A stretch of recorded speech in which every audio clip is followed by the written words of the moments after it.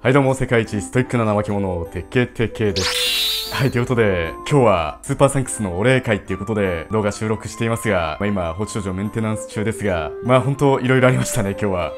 1点2点と、まあ前回の陳旧動画見てもらった方はわかると思いますが、まあナタがね、SSR 価格で販売され、まあ投用しちゃった人がたくさんいて、で、その後、まあロビなんかで情報は上がってましたが、まあ結局ナタを取った人の絆は返却されるという形で、まあ投用なかったことにするというような形で、まあロールバックではないですが、まあ対象の期間内にナタを取ってしまった人に関しては、まあ投用する前の状態に戻すというような処置がされるということで、まあそのメンテが今おそらくされてる感じですね。今、夜の11時46分ですが、まあ、あと15分後にメンテも終わるので、また開けたらね、どうなってるのか。まあ、私は今回ナタ取ってないので、確認できませんが、まあ、同盟の人なんかでね、実際に取った人がどうなったかっていうのをね、こちゃくれてるかもしれないので、はい、それもね、見に行ってみようかなと思ってます。はい、ということでね、はい、まあ、今回のメインはそっちじゃなくて、今まで動画にスーパーサンクス投げ銭を送ってくださった方に対するお礼の動画になりますので、はい、まあ、この、まあ、いただいたスーパーサンクスで、副賞の分析検証台だったり、まあ、地の奥の方にも映ってますが、作業中にコーヒーを飲んだり、まあ、動画を投稿した後には、お疲れビールを飲んだりってことでね、おかげさまで美味しいビールが飲めてます。ありがとうございます。いや、本当にね、動画を応援していただいて、スーパーサンクスでもらえるビールだからこそうまいってとこありますからね。はい、いつも本当にありがとうございます。ということで、いただきます。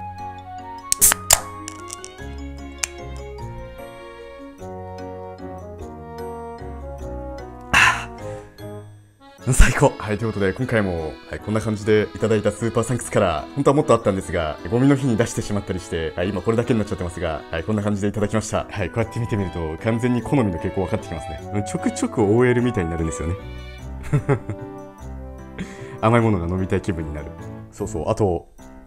こちらダンス用のシューズですが、まあ、前回の動画見てくださってる中にもブレイクダンス踊ってる方なんかがいたりして、放置少女プレイヤーにもね、b ボーイがいるんだなっていうのがね、めちゃくちゃ嬉しかったんですが、基本的にテケテケはプーマを愛用してますね。はい、この横にもいるんですけど、だいぶ人気ありますが、はい、こっちもプーマですね。まあ、このシューズ、シルエットは正直嫌いなんですが、もう軽さが半端なく軽いシューズなんで、早く足動かしたい時にはこっちで、で、ちょっとしっかりしたステップ踏みたい時にはこっちみたいな感じで、まあ、特にね、このプーマのこのソールの裏が白いやつなんかは、暗いところで踊ると足の裏だけ白く目立つようなシルエットになるので、まあ、ちょっと白い残像ができるような感じになるので、ブレイキンやる人は靴底白おすすめですね。まあ、超コメちゃんは虎じゃなくて猫ですが、プーマは虎じゃなくてピューマですね。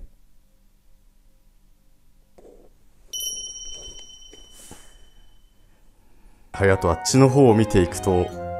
まあ、何やら壁にマリオがいますが、まあ、これもともとねマリオをつけたかったわけじゃなくて、まあ、このお部屋で踊ったりしてるので、まあ、壁にね穴開けちゃうことなんかがあったりして、はい、こんな感じでねぐるぐる回ってたら穴開けちゃったりみたいなことがね過去にあったんで、はい、そんなことにならないように実は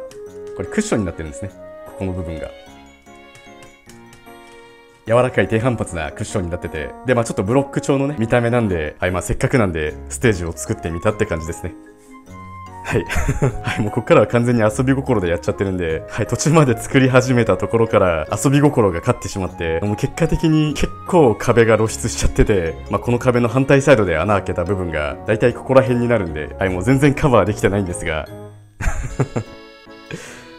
まあもう作りたくなっちゃったんでしょうがないですよね。まあ洞窟編と上に行くと、はい、上は上でステージ1みたいなね、感じの雰囲気の外ステージがね、展開されてる形になってます。はい、ということであと1分でメンテ終わりますね。はい、延長されるかどうか見ていきたいですね。まあビール飲みながら待ってたいと思います。はい、ちなみに今日はチーズのタラちゃんを連れてきました。もうちょっと短くて長方形のやつもあるんですが、こっちの方が断然好きですね。たくさん食べれる感がこっちの方があるんで、こっちもいただきます。いや、もうちょっとでメンテ開きますね。どうなるか。はい、野生の怠け者ですが、素手で掴む気にはどうしてもなれないので、お箸でいただきます。うん、安定のうまさ。はい、ということで、メンテ開けるっぽいんで、ちょっと見ていきますか。よし、行きましょう。さあ、どうなってるか。まず、ナタいるのかなあ、ナタいない。帰らぬ人となっちゃいましたね。あ、ナタはまだなんですね。とりあえずナタ取った人が、ナタの絆を失った感じですかね。顔だけナタ。あ、アイコンは回収されないっぽいですね。あ、今の方のナタ、絆しっかり、おそらくメンテ前の状態に戻ってて、でもアイコンはナタと、不気味な現象が起きてますね。あれ、陶器人の腰がなくなったとか、あ、ちょっと装備関係で問題出てきたりしてるかもしれませんね。あ、腰当て中心に帰ってきてない臭いですね。うん、やっぱり、いろいろ不具合出てきてますね。いや、ちょっとこれはもう、飲むしかないですね。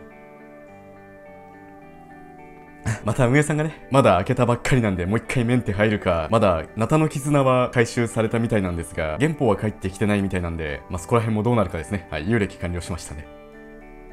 続々と遊歴完了してますが、まあ、とりあえずもう少し様子見ということで、はい、今回のメインはそっちじゃなくて、スーパーサンクスを送ってくださった方のお礼の動画になりますので、ナタ周りの話はこれぐらいにして、スパさん読んでいきましょう。はい、リレーさん、スパチャ thank you。あ、こういうシステムなんだ。うーん、なるほど。はい、スパさんの挙動確認ですね。はい、挙動確認チェック、ありがとうございます。え鈴木優子さん、ランゼロサバでコチャなんかでやり取りしたことがある方ですね。はい、いつもありがとうございますということで、こちらこそありがとうございます。えラッキーウキウキさん、ぐんまちゃん2号さん、おまかせさん、キスパ thank you、もじゃおさん、りょくすいさん、おはようスパンクさん、え三崎吉先生、育成割合についてテケテケさんというか皆さんにもお聞きしたいんですけど、割合どうしてますか？私は一番戦力高いのは幸村なんですけど、割合7割くらいなんです。やっぱり皆さんメイン能力は育成丹使いまくってカンストとかされてるんですかねああ、育成丹使った育成ですね。これに関しては結構今現状だとあんまり育成がっつりやんない方がいいかなっていう風に私は個人的に思ってますね。はい。まあ、というのも MR キャラクターがどんどん出てきて、また強いキャラクターなんかが更新されていくので、まあ、ナタですらそのポジションが危ういぐらいの今環境なので、まあ、育成炭装備の強化なんかと違って一度やってしまうと帰ってこないアイテムの一つなんで、正直あまりがっつりやれないっていうのが今現状ですね。もうちょっと MR が出揃って、大体のね、MR の規模感なんかが分かってこないと、まあ、例えば今ナタ取って、すぐガチ育成で、まあ、課金とかしまくってナタをカンストしてしまったとして、まあ、その状況でナタが埋もれていってしまうような MR 環境になってしまったら、育成単が完全に無駄になってしまうので、今現状だと、まあ、三崎地さん7割でも結構育成頑張られてる方だと思うんですが、まあ、6割から7割ぐらいで、主力でそのぐらいで様子見てもいいのかなと、個人的には思うぐらいですね。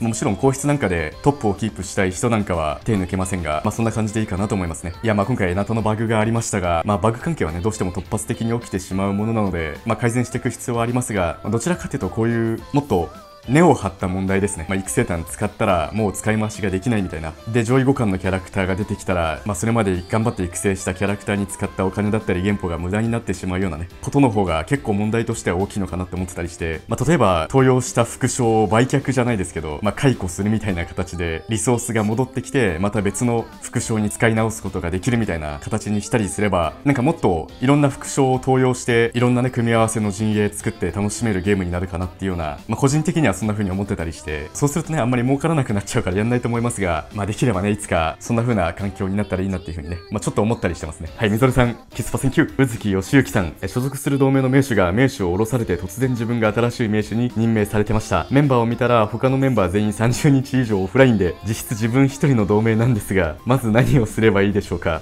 いや、だいぶひどい状況ですね。もう全員メンバー入ってないんですよね、今。であれば、盟主の権限譲ってしまったり、まあ、もうその同盟に愛着がないのであれば、同盟抜けてしまったりと、あいうような処置をしてしまっていいのかなというところですね。もう私もメインの廃課金サバで、はい、今盟主になってますが、もともとこの同盟、私が作った同盟でもなくて別の方が盟主だったんですが、まあ、ちょっとね、インをお休みしてる間にいつの間にか同盟への貢献の問題で自動的に私が名手になってたりしたので、まあ、そういう風な譲られ方があったり、はい、あとはもともと名手さんだった人ですね。はい、その方にこうやって同盟を譲るっていう風に押すとどうなるんだろう押してみたり、で、はいと。はい、これで名詞が切り替わったんで、そうすると、あ、副名詞からも外れちゃうんですね。平社員からやり直しになりますが、もうほとんどの人がインしてない同盟であれば、譲ってしまってもいいし、抜けてしまってもいいのかなってとこで、まあ私もそこら辺あんまり詳しくないので、詳しい方いらっしゃったら、コメント欄で教えてあげてください。はい、佐藤のりみちさん。はい、一気に2ついただけてますね。ありがとうございます。あれですかね、間違えて送っちゃって感じですかね。ちょっとスパさん分かりづらいとこありますよね。ありがとうございますのメッセージを別のメッセージに変えられるんじゃないかと思って、いじってる間に一発目送っちゃって、あ、しまったメッセージ載せられなかったって言って、もう一回やろうとして、もう一回ありがとうございますしか送れないみたいなパターンだったり。で、今、スパさんどうやらメッセージはありがとうございますって固定みたいなんで、プラスでメッセージを送りたい方は、ご自身のスパさんの返信のところから自分に返信する形で、まあ、この一番下のおはようスパンクさんみたいにね、載せてもらえれば、はい、合わせて見ることができるので、はい、そんな形でお願いします。はい、おまかせさん、キスパ thank you、ラッキーウキウキさん、おはようスパンクさん、はい、もちゃもちゃおさん、チックさん、新井房子さん、さくなさん、メインでロキシー投与しました。誤解はしてません。カエサルやホンダに嫌がらせをします。いや、いいっすね。いや、まあ、ロキシー、MR の中では全然目立たないキャラになってしまいましたが、普通に攻撃力が高い相手に対して罪悪封印つけに行くっていう動き自体は、なかなかキラーですからね。強制的に視力2ターン封じ。ネロと違って、状態状態性100%ダウンなので、カエサルなんかも普通に罪悪封印かけられたりして、まあ、強制的に相手の視力封じができてしまうということで、まあ、重課金、廃課金レベルの方であれば、だいぶ戦局変えるのに強いキャラクターだと私は思ってるので、まあ、そういうとこもあって、ロキシー一応廃課金編では登用したりしてるんですね。まあ、無課金、美課金の人にはおすすめできませんが、重課金以上の人で対人バリバリでやっていきたい人、まあ、今後 MR キャラクターどんどん出てきて、まあ、罪悪デバフ解除できるキャラクターが増えてきてしまうと、ちょっとパフォーマンス落ちちゃうかもしれませんが、まあ、かぐやも出てきたばかりだし、まだ早々罪悪封印解除のキャラクター連発するってことはないと思うので、しばらくロキシー使い面白いと思いますけどね、個人的には。はい、そして杉トムさん、フルメタルベニさん、あ、これコウさんって読むんですかね。はい、今度読み方を教えてください。何かとうまくいかないことも大変勉強になります。一杯飲んで頑張ってくださいということで、ありがとうございます。これあれですね。あの、願い返しサバで闘技場100位狙ってみた企画の、あの大失敗のやつですね。いや、もう、かなりきついですよね、あのサバ。あ、ちなみにあれ、次回最終回っていう風に言ってますが、別にそこまで本気で最終回って思ってませんからね。あまりに結果がひどかったので、その感情を文字に載せてるだけなので、あの、具体的な方針云々の話では実はないです。ちょっとね、コメントなんかでね、心配されてたり、残念がってる方がいたので、はい、一応そこだけ伝えておきますね。はい、ラッキーウキウキさん、大内進さん、さやぽんさん、えー、青木さん、こちらはとりあえず願い返し3万できるまでは普通にプレイしようと思い、なんとか達成したので、返したらほぼ底根でした。というか、遊んでる3サバの最高が3万7000台だった。これは辛い。そしてやっと放置生活に入ろうと思ったのですが、この企画はもうすぐ終わってしまうという、あ、そうですね。はい。さっきの願い返しサバー最終回の話ですね。紛らわしいこと言っちゃって申し訳ございません。まあ本当に終わるかもしれないし、まだ続くかもしれないってことで、確実に終わるわけではないので、まあもっと続けてほしいっていう声があれば、続く可能性上がると思いますのでね。そんなコメントもお待ちしてます。はい、人事さんって読むんですかね。はい、人事さん、もちゃもちゃおさん、赤スパ選球、ナタの分析動画にね、投げていただいて、いや、本当に助かります。ありがとうございます。なんかスパさんなんかでも送りたいけど、送るときは自分が推してるキャラクターをテケテケさんが分析したときに今までの気持ちを全部放出しますみたいなね、言ってくださってる方なんかもいらっしゃったりして、いや、本当にありがたい限りですね。もうなんでね、まあ今回陳宮なんかも出てきて、ナタのせいでね、あんまり注目されていませんでしたが、それでもね、やっぱファンの人はいると思うんで、もう手を抜かずにね、ガチで分析動画作っていくんで、はい、これからもよろしくお願いします。はい、そしておはようスパンクさん。スパンクさん、たくさんありがとうございます。テケテケさんお疲れ様です。ナタを取るか迷ってましたが、初虹はナタと決めていたので、行きます。MR は水引きをコツコツ貯めて取りたいと思います。はい、このコメントもね、ナタガチャバグ前のコメントですね。あの、ナタ虹で登用して、で、MR キャラクター取れなくなっちゃうかっていうと、MR の方は水引をコツコツ貯めていけば、かなり安く賄うことができるので、MR までのつなぎに虹キャラクター、原本を消費して取っておくっていうのは一つの戦略としてありなんですよね。まあ私はそれを上杉謙信とか、まあコキビダッキー、チョコメみたいな、まあそういったバッファーでランゼロ企画ではやろうと思ってますが、はい、ナタもめちゃくちゃありですね。願い返してね、今回結果が良くなかったのでスルーしましたが、ナタも十分ありだと思いますね。はい、そして三崎地さん、あ、ナタいるけど、かぐや取った方が良かったかなということで、まあ、ナタ動画で話しましたが、まあ、かぐやとね、組むことで、ナタは今の MR 環境にも耐えうる性能にパワーアップするんじゃないかなっていう風なところがあるんですが、まあまあ、かぐやはおいおいでもいいかもしれませんね。まだまだ MR、ナタキラーと呼ばれるキャラクター、カエサルぐらいしか分かりやすいキャラクターではいないので、まあ、このままの MR の実装のペースで言うと、かぐや次来るの1年後とかになりそうですが、まあ、その頃までには判断できるようになると思うので、まあ、その時にまた判断すればいいのかなと、はい、私は思いますね。はい、藤川さん、えー、みぞれさんさん、えカイサルナタテーフの3す組ですね。いや、ほんとじゃんけんみたいですよね。ナタに強いカエサル、カエサルに強いテーフ、テーフに強いナタ。うん、じゃんけんってことは、実質ナタもテーフも MR ってことか。だったら、テーフが一番好きですね。この中だと。見た目的に。はい、ラッキーさん、おはよう、スパンクさん、動画たくさん押していただいてありがとうございます。今日ナタ撮りました。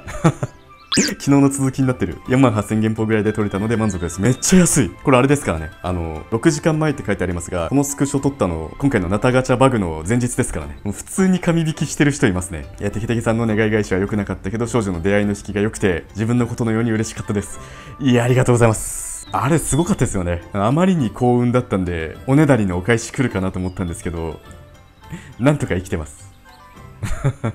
ありがとうございます。いや、スパンクさんもおめでとうございます。いや、シラフのガチャで4万8000元宝で取ってるんで、まあタイミング的にちょっと気まずいかもしれませんが、胸を張っていいと思いますね。はい、しきなみさん、お疲れ様でした。まあまあ一つビールってことで、これあの、更新情報の動画でもスパさん紹介させていただきましたが、ありがとうございます。またいただきます。まあ、ちょうど今スパさん読みすぎて喉が渇いたとこだったんで助かりました。はいおまかせさんもキスパ Thank you。ゆいゆいさんなた欲しいけど後回し願い返して6万元本になる動画楽しみにしてます。夢じゃないことを検証してくださいってことで。そうっすね。最近帰れしか言ってないんでね。いつかお帰りって言ってあげたいですよね。はい、頑張ってきますね。あ、ていうか、ゆいゆいさんも15%のとこで出会いガチャのデートを2人分成功してますね。あ、遊園地来る前にやったんですね。まあ、15%で成功なら、遊園地来る前でも全然問題ないですね。スタンプ20個分しか差つかないんで。いや、この前のランゼロ企画で、まあ、奇跡的に出会いの1段、プラス更新してまた1段で、両方ともね、混沌素材ゲットできたんですが、意外とコメント欄見てたら同じ境遇の人が結構いたりして、まあ、出会いガチャも結構確率疑われてたりしてるガチャの一つなんですが、割かし出てるような感じもありますよね。まあ、ちょっとね、検証してみないとわかんないとこですが、まあ、検証しようと思ったらかなりの規模になるので、なかなか手出せないですね。はい、ということでこれで全部ですね。みんなスパさん Thank you! はい、この動画を収録しているタイミングで新しくいただけたスーパーサンクスなんかは、また次回の実写お礼動画で紹介とともにお礼をさせていただきますので、はい、テケテケの活動支援してくださる方、また作業中のコーヒー代や作業終わりのビール代、プラスおつまみ代みたいなね、よっぽどなものじゃない限り、何々代って書いていただけたものは、その指定していただいたものを購入する予定ですので、ね、面白いものがあったりしたら、動画にもしたいなって思ったりするんで、そんなね、活動を応援してくださる粋な方いらっしゃいましたら、いつでもスーパーサンクス受け付けてますので、今後ともよろしくお願いしますということで、最後まで見てくださってありがとうございました。それでは、